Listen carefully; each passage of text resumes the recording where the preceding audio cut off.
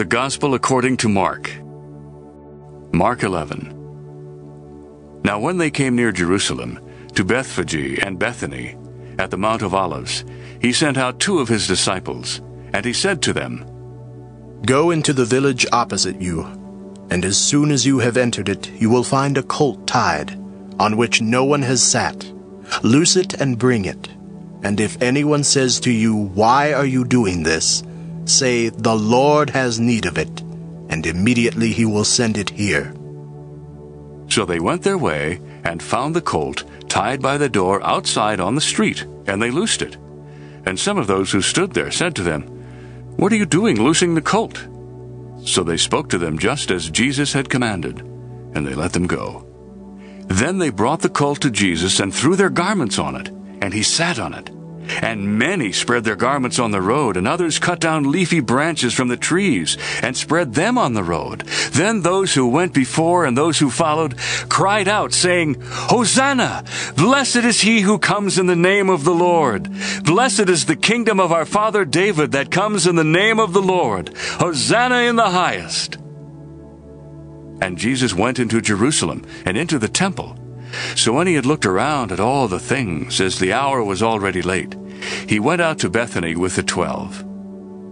Now the next day, when they had come out from Bethany, he was hungry. And seeing from afar a fig tree having leaves, he went to see if perhaps he would find something on it. And when he came to it, he found nothing but leaves, for it was not the season for figs. In response, Jesus said to it, Let no one eat fruit from you ever again. And his disciples heard it. So they came to Jerusalem, and Jesus went into the temple and began to drive out those who bought and sold in the temple, and overturned the tables of the money changers and the seats of those who sold doves. And he would not allow anyone to carry wares through the temple. Then he taught, saying to them, Is it not written, My house shall be called a house of prayer for all nations? But you have made it a den of thieves. And the scribes and chief priests heard it, and sought how they might destroy him, for they feared him, because all the people were astonished at his teaching. And when evening had come, he went out of the city. Now in the morning, as they passed by, they saw the fig tree dried up from the roots. And Peter, remembering, said to him, Rabbi, look, the fig tree which you cursed has withered away. So Jesus answered and said to them, Have faith in God. For assuredly I say to you, whoever says to this mountain, Be removed and be cast into the sea, and does not doubt in his heart, but believes that those things he says will come to pass, he will have whatever he says. Therefore I say to you, whatever things you ask when you pray, believe that you receive them, and you will have them.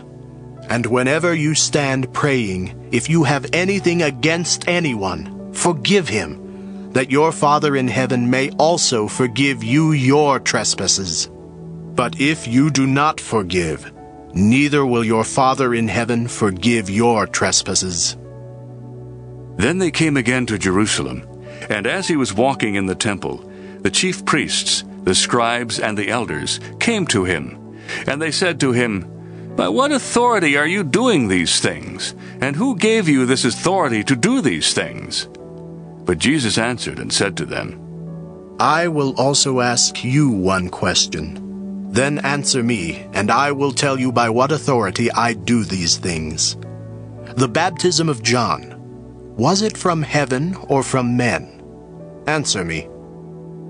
And they reasoned among themselves, saying, If we say from heaven, he will say, Why then did you not believe him? But if we say from men, they feared the people, for all counted John to have been a prophet indeed. So they answered and said to Jesus, We do not know. And Jesus answered and said to them, Neither will I tell you by what authority I do these things.